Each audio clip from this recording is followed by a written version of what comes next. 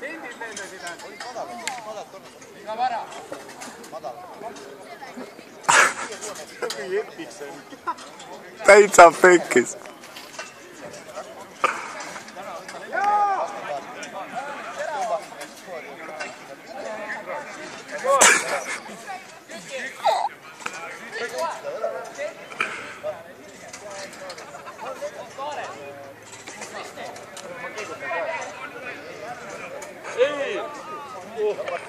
Mu enda õlle kohe.